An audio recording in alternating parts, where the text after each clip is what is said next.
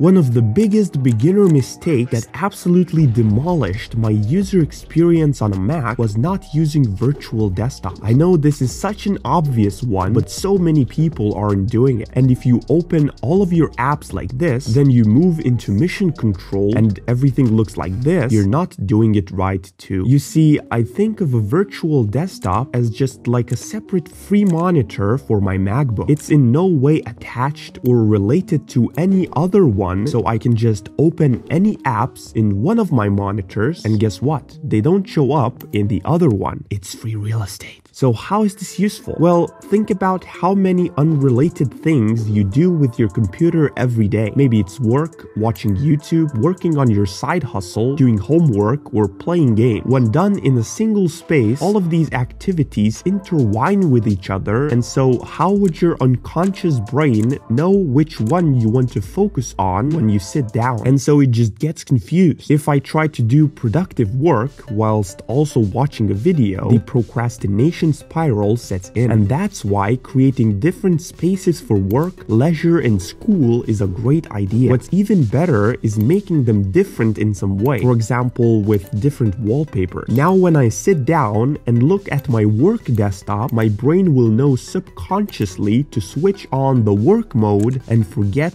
the YouTube mode. So by the end of this video, you'll not only learn how to destroy your Mac experience, but at the very end, I'll also share a few killer resources that'll help you master this operating system. The second mistake that new Mac users make is simply not customizing their Mac to fit their specific needs. This mistake is often made by just not knowing what's actually out there and what's possible. So here are three things that I would definitely customize. Settings, appearance, and apps. In settings, I can change my display zoom amount, my cursor appearance, add new keyboard shortcuts for specific specific application, customize spotlight search, set up hot corners, disable notification, change trackpad speed, and so many more little things that make my life easier. When it comes to aesthetics, changing the wallpaper is the first thing that comes to mind. Then my dock. I can make it disappear, add spacers, change the zoom amount, and more. Then change folder icons, customize my finder, use dark mode, and that's just scratching the surface. These little changes add up and soon I realize that I have a system that's personalized for me. Thirdly,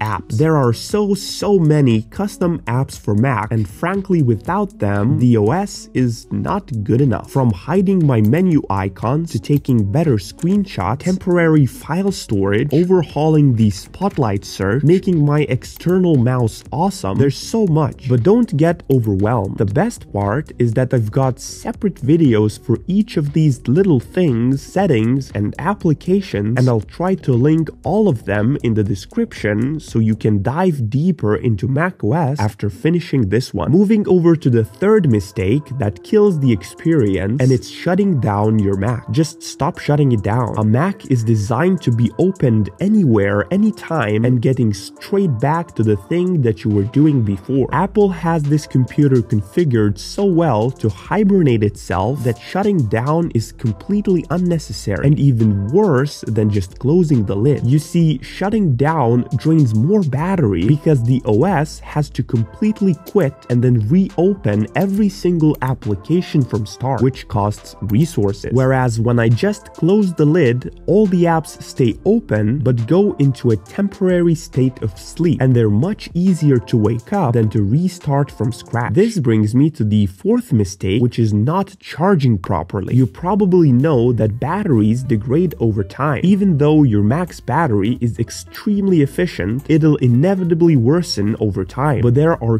two things that you can do to slow that process down. Number one, don't charge it above 80%, and number two, don't drain your battery below 20%. It's that simple. Pull out your charger when the battery isn't fully charged and plug it in when it's not fully drained, and you'll have a much, much better battery health. Now, I've mentioned mission control control in the beginning, and this brings me to the fifth and most rudimentary mistake, which is not using keyboard shortcuts and trackpad gestures. You see, Macs have been designed with tons of hidden functionality for those who seek it. Of course, the OS does the basic functions just fine without having to learn any tips and tricks, but it's just sad how much you lose out when you don't know them. Some people don't even use the function row for search, mission control, and audio adjustment. It's crazy. If that's you, you're missing out on the biggest secret to using macOS efficiently. The good news is that I've already prepared and combined all the exclusive Mac secrets into one single place for you, and without it, you'll never be able to get the most out of macOS. It's all right here in this video.